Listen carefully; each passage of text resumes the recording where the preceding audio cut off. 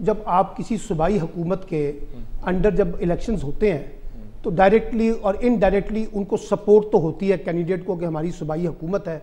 उसका हमें इंतज़ामी कॉन्टेक्स में सपोर्ट मिलेगा, फ़ायदा मिलेगा। और सूबाई हुकूमतें भी इसमें इंटरवीन करती हैं। इसमें कोई शक नहीं है, ये पाकिस्तान की हिस्ट्री है, इसमें कोई बात नहीं है। अब जिस वक्त ये इलेक्शन जनरल इलेक्शन होंगे तो उस वक्त तो निगरान सेटअप होगा, उस वक्त पता चल जाएगा।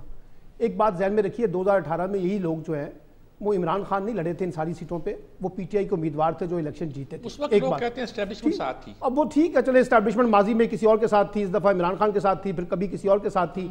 ये अभी बाई इलेक्शन हुए जुलाई में। एक पॉजिटिव बात ये गिनी जाती है कुछ एस्टैब्लिशमेंट साथ थी इस वक्त तो साथ नहीं। चले अब ये इस वक्त देखे ना अभी इमरान खान के बगैर दो सूबाई असम्बली की सीटें जो हैं खानेवाल की और भावन नगर की वहाँ तो इमरान खान उम्मीदवार नहीं थे ना। लेकिन वहाँ उन्होंने सुन ले- पहले सुन ले जो कहा गया ना कि इमरान खान के बगैर तो मैं कह रहा हूँ इमरान खान के बगैर दो सूबाई सीटों पर भावन नगर और खानेवाल में पीटीआई के उम्मीदवार जीते हैं।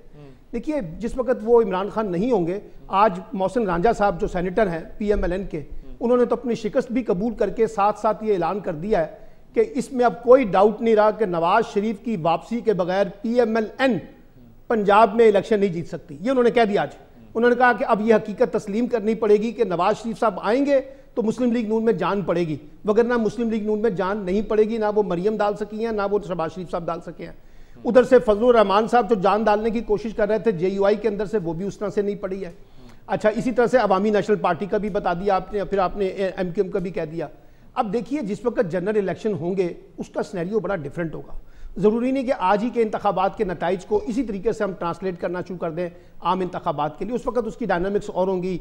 अब मिसाल के तौर पर मुल्तान की सीट जो जीती है वहाँ people's party P M L N और बाकी जमातों के मुश्तरक उम्मीदवार थे ना अली मूसा गिलानी साहब।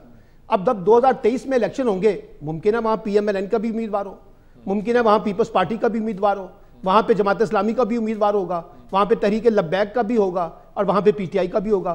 तो तब देखना पड़ेगा कि जो मार्जन है वो किस तरीके से तो सीटों में जाए